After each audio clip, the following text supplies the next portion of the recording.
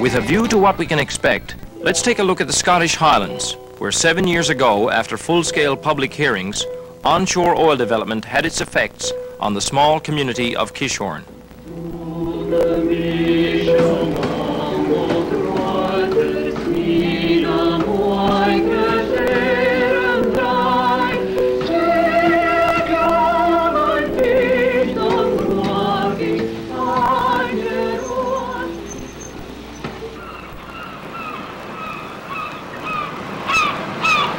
This oil production platform, the largest object man has ever made to float, was built near Kishorn, a community of several hundred people. The impact of this development is recalled by Kishorn councillor Alex MacBeath. It wasn't what we would have opted for. It was too big, entirely of keeping with the character uh, nature of the area, but still we had to take it.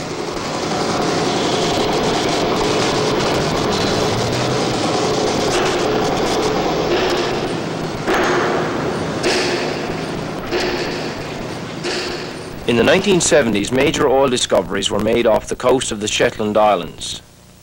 To get the oil up from the seabed, a huge oil production platform had to be built. Britain, to ease its unemployment and debt situation, was anxious to get in on the work. Let's get a little background on this from a planner with the Highlands and Islands Development Board, so, Mr. Stanley Pickett. Similarly, platforms had to be built. They required a certain technical capacity for the dock and they required deep water nearby. And the number of sites which were suitable was fairly limited.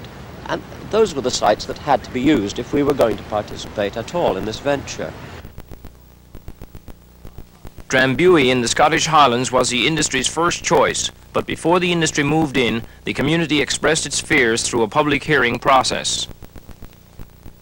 The public hearings brought out a number of major concerns. What would be the effect of many hundreds of highly paid migrant workers suddenly arriving in a small community?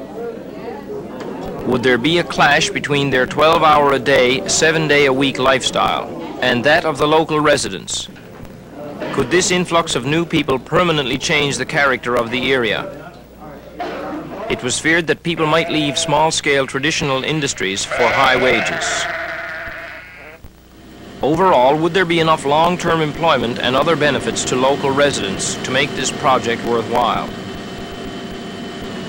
In the end, the Drumbuie site was rejected, not because of concerns raised at the public inquiry, but because the proposed site was an historic location. We'll get a few comments on what happened next from sociologist Adrian Varwell. But paradoxically, the people who lived to the north of Loch Carron uh, were very much in favour of the development at Drumbuie. And almost in the closing stages of the uh, public inquiry into the Drumbuie development, planning permission was given for a site at Kishorn on the north shore of Loch Carron. And it was largely because of the shortage of jobs in the area that the local community and the crofting community within reach of the Loch Kishorn site um, on the whole welcomed the arrival of this very large and strange and unknown industry. We were very frightened of the, uh, the impact of this thing. It's something new, is a heavy industry. We would never have opted for this type of thing, but it, it was this or nothing.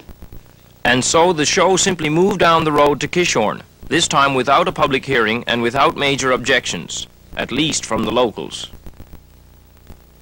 Mrs. Gilmore owns and operates a local weaving yeah, business. Unfortunately, a lot of the, the people who who live in Loch Carron and who were so against the development were not natives of Loch Carron. They were people who had come in from other places, from the south, and some had built just holiday homes here, and some had come semi-retired or retired, and they um, had the the louder voice of the people who were against the development.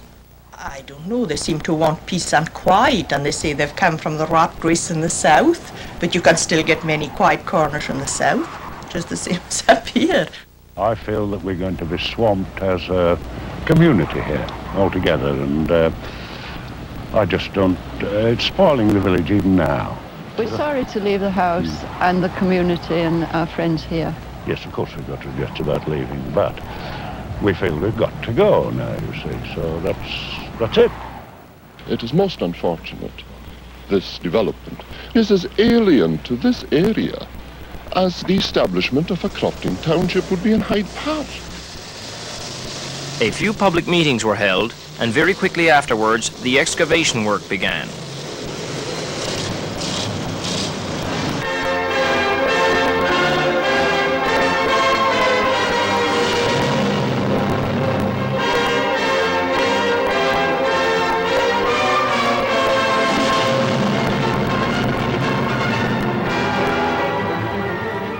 With an eye to objections raised at the Drumbuie public hearings, a number of promises were made to the community by the Howard Doris Company.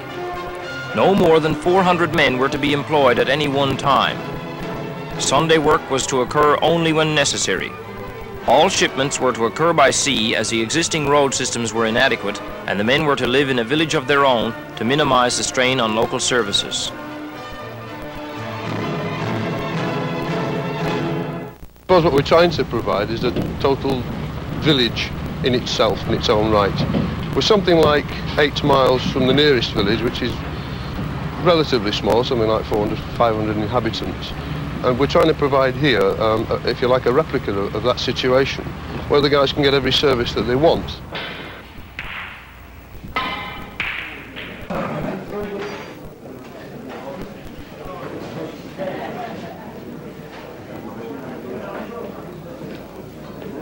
Developers built a work camp to meet the best hotel standards. Everything was provided for a maximum of 400 men.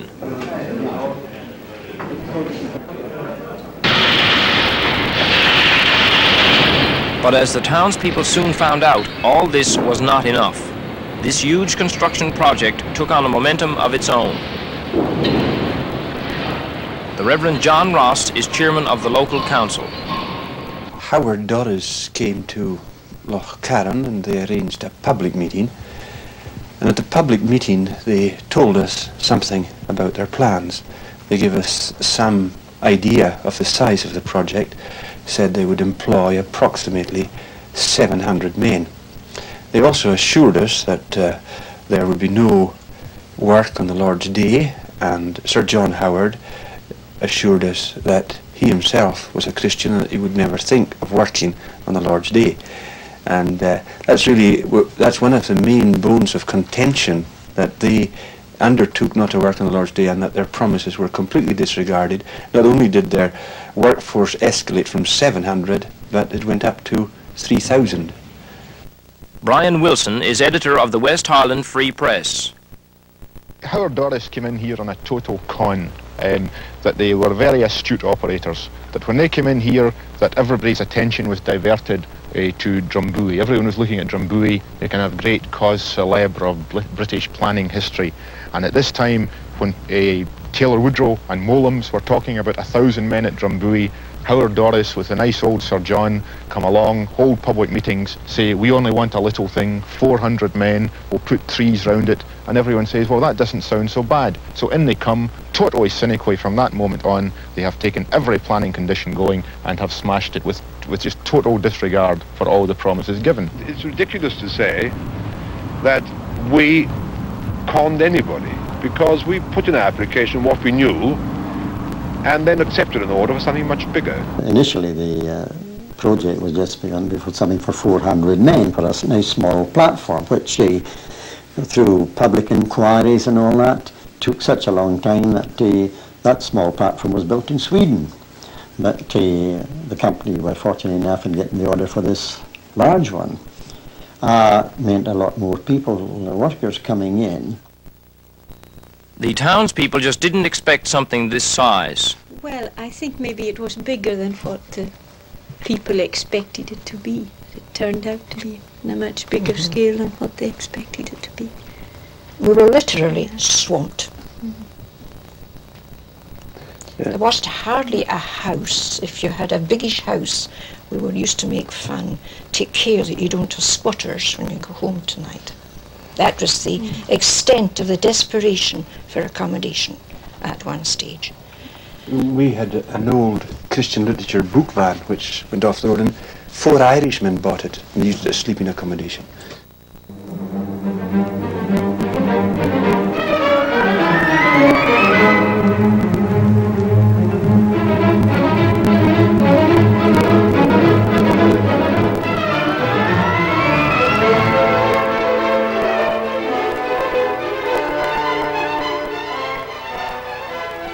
Think there are two features of oil development in a rural area such as the Highlands of Scotland. One is the sheer scale of the enterprise and the second is the speed with which it operates. The labour force of 400 was far too small. Uh, whether the contractors knew this at the outset, I don't know. But one of the problems with North Sea oil development, of course, is that it's done against the clock and rather than extend contract times, the major contractors tend to build up their labour force. And so the project grew, riding roughshod over the original promises of the developers. Only essential work was to take place on Sunday, but it was surprising what became essential. All deliveries to the site were to come by ship, but it was soon apparent that contractors had little control over their subcontractors. And the roads were used beyond their capacity. The men were to live in a village of their own, but soon all hotels and rooming houses were filled for miles around, and trailer camps sprung up. For senior executives, new housing was built at the end of the village. In the face of all this, what influence can local government have on the developers of a major project? One finds that they, they have to have a measure of public support and goodwill from the, the areas they work in. If not, then they, they'll find that they are not going to succeed in, in getting planning permission, say, for a certain development or other development of their uh, complex. They might want to build a cinema or something.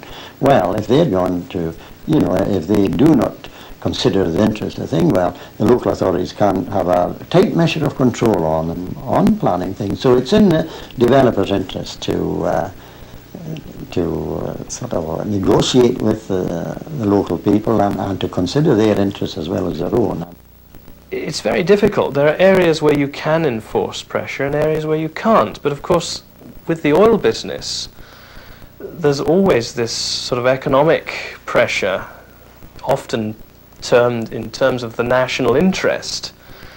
And there are very few planning authorities who are going to really stick their neck out against the argument of the national interest and thereby slow down the completion of a project. Well, you don't give carte blanche to your developers at any time. You must always keep a measure of local control over it. Because we must bear in mind that the developer is there to develop carry out his development as, with as much profit as possible.